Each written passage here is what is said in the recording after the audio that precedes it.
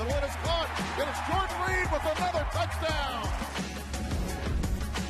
Right, Ike Taylor. We have the Bills and the Redskins coming up this week. Both teams playing for the postseason. You have your keys to the game, so let's start with Buffalo. Tyrod Taylor. He struggled to complete half, basically half of his passes this past week. Tyrod got to come through for me in that fourth quarter.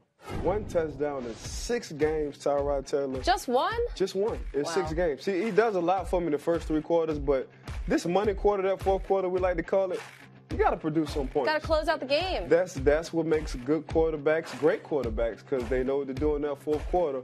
One touchdown in six games, man, that fourth quarter is not going to cut it. Got to get some more points. Yeah, since week 11, he's completing only 54% Mm-hmm. of his passes. Also, that's the worst among quarterbacks with at least 100, Right. 100 attempts. How about Washington and their quarterback there, Kirk Cousins? You like that, don't you? Yeah. Yeah, you got to like that. Kirk Cousins, man, just quietly, since RG3 hasn't been in effect, he has been the effect of the Washington Redskins, man.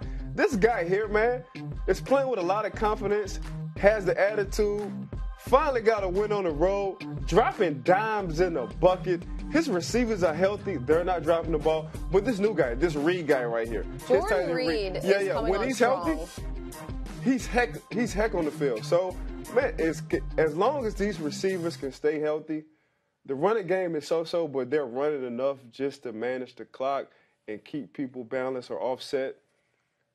I, I like this Kirk Cousins and crew. You know, and you know what? You know what he's doing in the fourth quarter? You kind of scary when you do that, but yes, ma'am. He's not turning over the ball. That's a huge. He hasn't done it since week one. Like that. I know. So, so uh, who do you like in the game? The Redskins. Going with the Redskins. I'm gonna go with the Redskins. Even though I'm a Tyrod Taylor fan, the Redskins, man, they just finding ways to win. Nobody has really given them a chance, and Kirk Cousins is playing at a high level with a lot of confidence. All right. Well, if the Redskins win, that would be bad news for the Bills and their playoff hopes. We'll see what happens. And of course, you can check back with us all week long. We'll have news, analysis, fantasy advice. If you're in the playoffs for your league, just check back with us at NFL Now. Might as well.